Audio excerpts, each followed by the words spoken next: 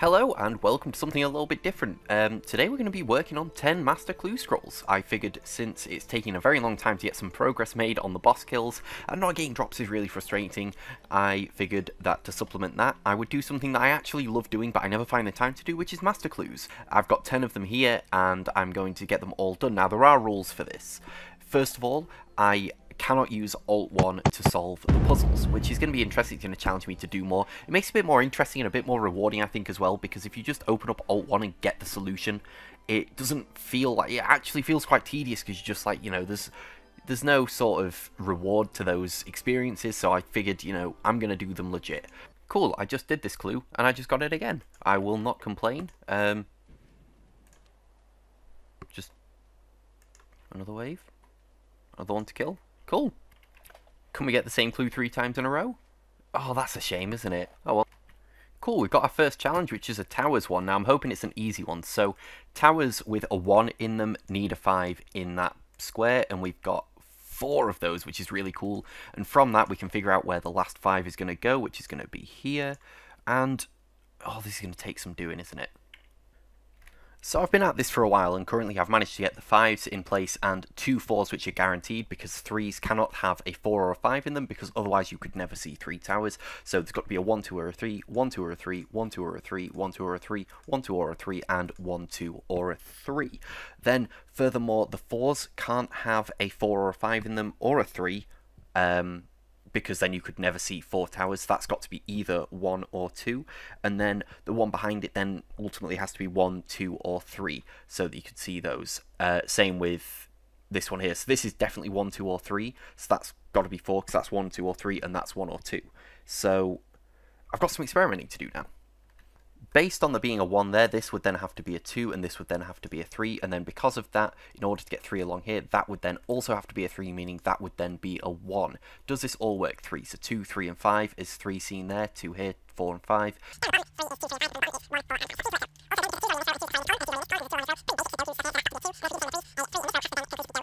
Because there's nothing left in there, we're going to throw a 4 in there, and then to need a 1 in there, because that's all that's left, and then we can deduce that this is going to be a 4, and this is going to be a 1, and that should be completed.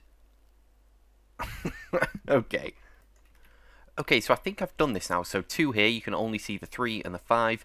The 1, you can only see the 5. The 4, you can see 1, 3, 4, and 5. 2, you can see 4 and 5. 3, you can see 2, 4, 5. And then from the top, 3, you can see 1, 3, 5. 3, you can see 2, 3, 5. Here, 1 and 5. 3, you can see 3, 4, and 5.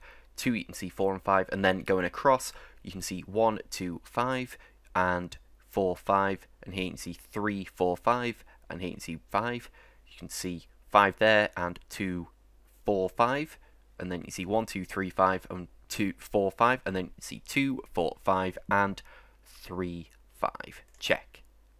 Done it. How cool was that? That only took me um, half an hour? Bloody hell so I've got a new clue, and this one requires me to get some Demon Slayer gloves. Now, Demon Slayer gloves are dropped by Calderi Kalgerion demons, and there is a drop rate of 3 in 2048 according to the Rune Wiki, meaning I'd probably need around 650 or so kills in order to get a pair, and, uh, you know, I'm not a big fan of Caldera, Caldera demons, uh, so I'm gonna use a skipping ticket, which I will come to regret, but I'm going to do it, so I need to shrug in here. Where's shrug at? Oh, look at that. Easy peasy. Skip that clue. E. Okay, that is casket number three? Yeah, I think that's casket number three. Oh, I can't start another one until I complete this casket. Ah, oh, this is E. So essentially with these ones, I've pretty much got it down that you just use each following layer to sort of get yourself going there. So there, we've got that pretty much nailed now. Now the only issue is, because we've got all of these down here, we need to basically look at how we can get these to be changed. So if we were to... Two... One... Two... One... One... Two... One... I'm probably not doing this right, but I'm gonna do it.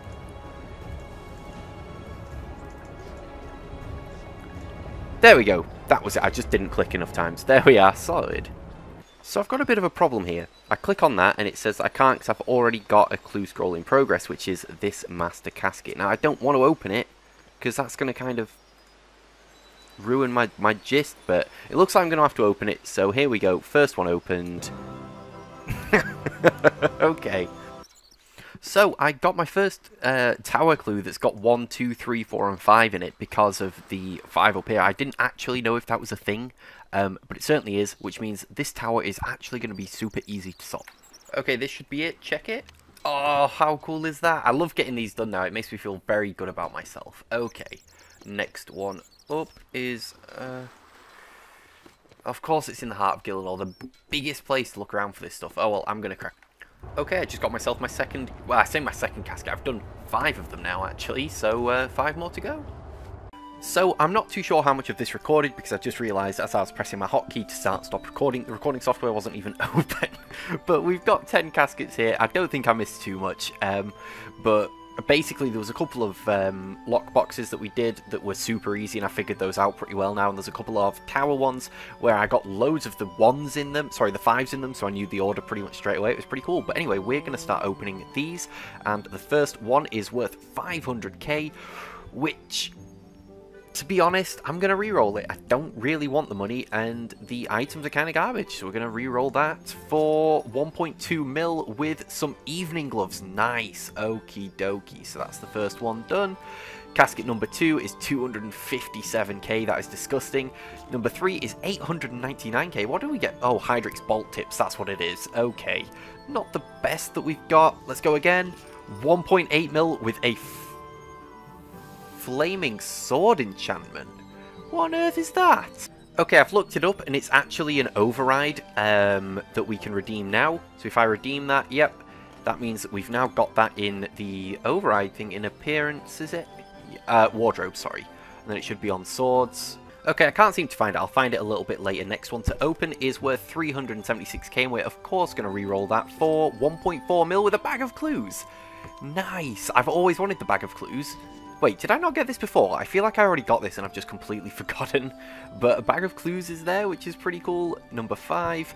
Uh, sorry, this is number 6, which is worth 300k, which is a little more disappointing. And then 783k with a golden dragon fruit and some Hydrix bolt tips. I'm going to re-roll that because I don't care about the money there. For 200k, I kind of wish I didn't do that. We've got three more to go. At 2 point something mil with a tuxedo cravat and a tuxedo jacket. Damn, that's pretty decent. Okay, I'm going to need to bank this stuff. The final two caskets, I've kept all of our uniques out. Let's see what we get. 754k with pretty much nothing other than the Hydrix bolt tips that we can really be happy about. And then the final one is a mill, which has the Hydrix bolt tips, but I'm going to re-roll it because I think we can do better than that. With 400k, we absolutely cannot. Okay, well that's kind of all of the clues for this episode. It's going to be a bit of a different one next episode because that um, Infinity Boots grind took up a lot of time that I had, but next episode what's going to be taking up the time is the fact that I quite literally have only four sealed Master Clues, so we are going to have to do some of my elites in order to try and get some Masters. Failing that, we're then going to have to farm out some elites, which is most likely going to be done through Barrows. So yeah, it's going to be an interesting way to see how this progresses, but we got Tell you what, I'm going to find out if they're all unique. So let's open the treasure chest, see what we've got. Search, and we're going to go master. Do we... Oh, we already do have the bag of clues. I thought we might have done as well. Um, as for the tuxedo stuff and the evening gloves, I don't believe we've got those, which is super interesting. What do we need for the full tuxedo? Oh, wow, there's five pieces. What about the evening stuff? There's five pieces of evening gear as well. Um, so it's not looking likely that we're going to get those put in here anytime soon, but it's still nice to have. Anyway, thank you all for watching this episode. Sorry it took so long to get a video out. It's just been a very hectic time. I've moved house twice in two weeks, and I've been a little bit off the ball with things. If you did enjoy this type of video, please let me know down below, and I'll continue doing them. If you absolutely hated it, also let me know. Be kind, please, for goodness sake. Anyway, I will see you all in the next video.